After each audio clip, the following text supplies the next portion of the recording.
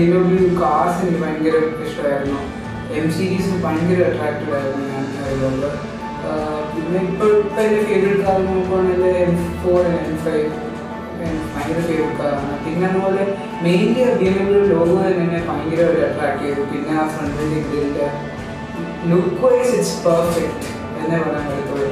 Even S thousand R look wise it's perfect yes no compromise എന്നേ എനിക്ക് പറയാൻ പറ്റത്തുള്ളൂ.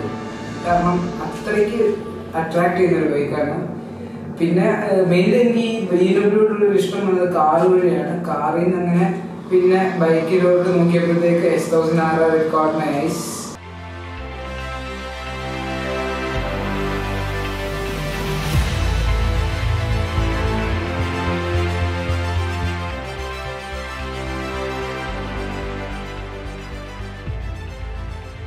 അപ്പോൾ അത് നല്ല സപ്പോർട്ട് ആയിരുന്നു അങ്കിൾ പറഞ്ഞു okay will see eighteen years ആവട്ടെ നമുക്ക് നോക്കാമെന്ന് പറഞ്ഞു.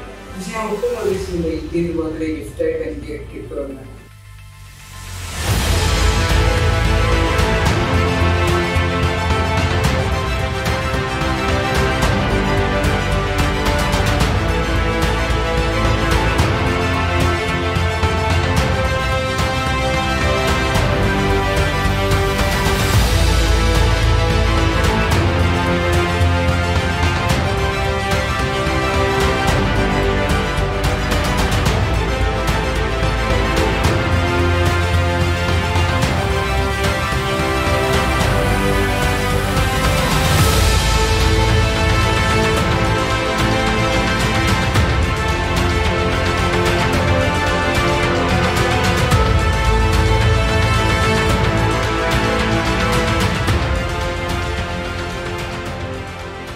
എനിക്ക് ആക്ച്വലി ഒരു ചെറിയൊരു പേടി ഉണ്ടായിരുന്നു പക്ഷേ ഈ ഡെലിവറി ടൈമിലാണ് ഞാൻ ഫ്രണ്ടിലോട്ട് എടുത്ത് ജസ്റ്റ് ഗ്ലസ് റിലീസ് ചെയ്ത് കുറച്ച് ഫ്രണ്ടിലോട്ടൊക്കെ എടുത്തപ്പോഴത്തേക്ക് ആ ഒരു പേടി പതിയെ പതിയെ മാറി തുടങ്ങി